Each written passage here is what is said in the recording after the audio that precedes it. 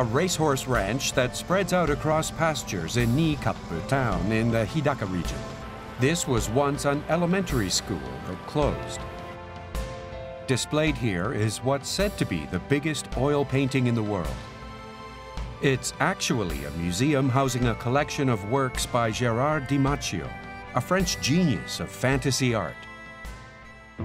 Added to the facility in the summer of 2022 is a somewhat unusual looking building. Open the door and there are beds. It's a glamping site.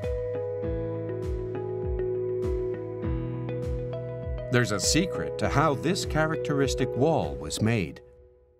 It's printed with a 3D printer for concrete. This is how it was made. A robot repeatedly moves back and forth as the wall is gradually completed. Concrete about 5 centimeters wide that pours out of the nozzle is layered over and over again. The work was carried out by Aizawa Concrete, this is actually the first accommodation facility in Japan built with a 3D printer. We're able to easily create complex textures and can quickly give shape to the homes or concepts people want to build. But why is a concrete supplier using 3D printers? Everyone in the manufacturing industry is being confronted by technology that allows things to be printed.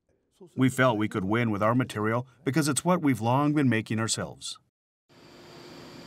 Used for the 3D printer is a special type of concrete. If the material isn't suitable, it falls apart midway like this. Conventional concrete is mostly in liquid form so that it can easily be poured into molds.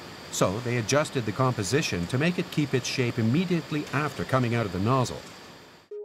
Aizawa Concrete has been working to develop innovative materials, such as concrete with bacteria that fills in cracks on its own.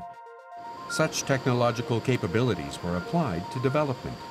3D printers have many advantages, such as shortening construction times and allowing hollow spaces to be created, reducing the amount of concrete needed by 60%. It's also used in places such as this, this egg-shaped concrete used here contains wine. Wine barrels are typically made from stainless steel or wood. But concrete tanks are getting a fresh look in Europe and the United States, as they can prevent changes in temperature and make the taste softer. With this rounded shape, the bubbles naturally rise from the bottom to the top, creating a convection current and mixing the wine quite well to produce a very consistent taste. It's all thanks to 3D printers.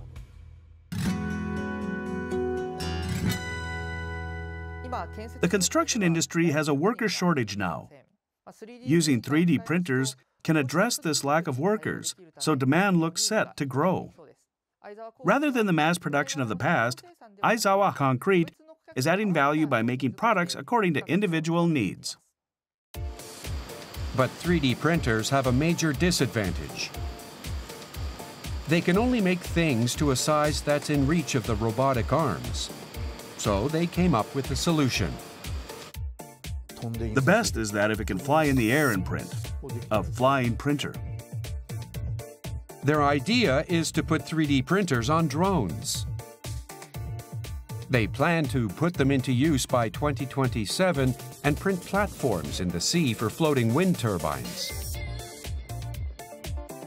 Concrete and 3D printers, a sea of possibilities.